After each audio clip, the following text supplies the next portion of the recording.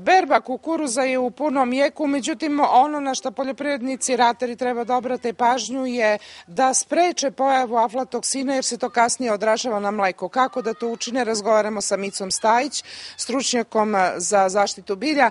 Dakle, šta da urade sada ratari u ovom trenutku? Svi znamo da se poslednje godine digla velika prašina oko pojave i ovaj, oko te dozvoljene količine afatoksina u, proizvodima, u mlečnim proizvodima, a pre svega i u proizvodima znači ostalih životinskih prerađevina. Ono što je bitno, moramo znati da ovaj toksin proizvodi gljiva Aspergillus flavus, da su svi toksini izuzetno opasni, da veliki broj gljiva proizvodi neke druge toksine koji takođe mogu da prouzrokuju razne štete u organizmu. Međutim, aflatoksin koji je najotrovniji ima više slojeva, više sojeva i mogu da budu izuzetno opasni čak i da prouzrokuju kancerogena delovanja u ljudskom organizmu. Unosi se sa uh, ovaj prerađemirama od životinja i to pre svega mlečnim proizvodima. Ono što je bitno moramo reći da je do pre do 1. jula bila dozvoljena granica 0,5 mg po litru aflatoksina u mleku, da je sada ta granica spuštena na 0,05, da su pre toga morale da se odrade neke preventivne mere da se aflatoksin, odnosno sama uh, gljiva ne pojavi na ovaj proizvodima kukuruza i da ovaj se na taj način smanji uh, ovaj postojanje aflatoksina na proizvodima. Ono što je bitno, moramo reći da niz preventivnih mera do toga dovodi, ali te preventivne mere koje nisu mogle ili koje nisu odrađene prilikom zasnivanja, odnosno ovaj, e, sejanja kukuruza, trebalo bi deo da odradimo sada prilikom unošenja u skladište i na taj način znači smanjimo njegovu pojavu na samim klipovima. E, bitno je to da prilikom berbe, odnosno žetve kukuruza, treba da se vodi računa o tome kako ćemo to raditi i koliko, sa koliko procenata vlage ćemo uneti kukuruz u naše ambare i silose. Ako se žanje kukuruz, odnosno skida kukuruz u zrnu, njegova vlaga bi trebala da bude uh, manja od 14 uh, procenata. Ako se žanje, odnosno skida u klipu, trebalo bi da bude manja od 20 4%. Ono što je bitno kada se sam kukuruz unosi ta skladišta, skladišta moraju da budu čista, mora da se izvrši dezinfekcija skladišta i zbog ove gljiva i zbog ostalih gljiva koje mogu da se nađu tu i uh, njihove prezimljavajuće spore, uh, onda bi moralo da se odradi znači uh, sav prošlogodišnji rod da se iznese iz tog skladišta i na taj način znači da skladišta budu čista. Znamo znači da ovaj kukuruz ne sme da se stavlja na podlogu od betona jer se tako stvara kondenzacija, trebalo bi da skladišta budu znači provetravana, da temperature budu niže, jer gljiva na temperaturi do, od 5 stepeni Celzijusovih prestaje da radi. Najbolji razvoj gljive je na temperaturi od 37 stepeni Celzijusovih kada ona i dalje ovaj može da radi, živi i vrši zarazu.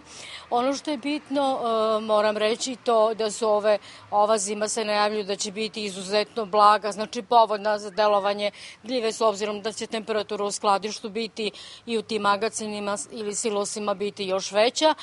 Tako da se mora povesti računa o tome da se stalna promaja po skladištima vrši, snižava se temperatura i stalni pregled zrna, stalni pregled znači ili zrna ili klipova da bi se odvajalo ono što je zaraženo na stranu i ne davalo ovaj, za konzumiranje, odnosno ne hranile životinje sa takvim klipovima. Uh, što manje oštećenja bi trebalo da budu na uh, samim klipovima i na zrnu kukuruza, uh, što znači znači i mehaničko oštećenja koja mogu da prouzrokuju glodari i insekti, tako da uh, u takvim skladištima znači mora da bude pored uh, dezinfekcije urađena dezinsekcija i deratizacija i na taj način znači uh, izuzetno zaštićen kukuruz i samo kukuruz koji je ovako čuvan i na ovaj način može da bude zdrav i može da ima što u sebi što manje prisustva Aspergillus flavusa i na taj način znači i njenu moć da prouzrokuje aflatoksin i da taj toksin ima neko dejstvo u većoj meri na ovaj, ishranu životinja, a samim tim i na pojavu ostataka znači u mlečnim proizvodima. Kako će poljoprivrednici prepoznati zapravo da tih spora uh, ima na, na, na klipovima? Pa ve, rekla sam par gljiva, znači prouzrokuju spore na gljivama, tu je znači fuzarium, penicilium i aspergillus. Ono što je bitno kada je u pitanju aspergillus, njegove, znači, njegova micelu je žuto zelenkaste boje, tako da znači prilikom, čak i prilikom berbe kukuruza može da se vrši neka selekcija ako se primeti ovaj pojava takve micelije. Međutim, selekciju bi poljoprivredni proizvođači trebalo da odradi ako primete i ostale micelije često često sam uh,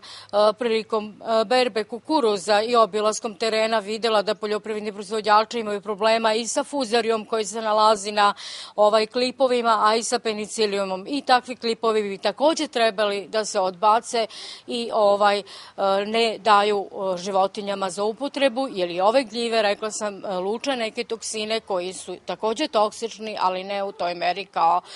toksin aspergillusa. I kako se oni mogu e, prepoznati?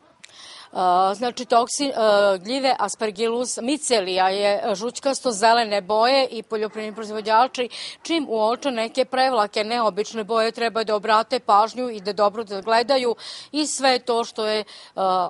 zaraženo sa tim micelijama, znači u principu bi trebalo da se odstrani. E, došlo je do pojave, e, jačoj pojave e, gljiva sada u prilikom dozrevanja kukuruza zbog samih vremenskih prilika koji su bili, znači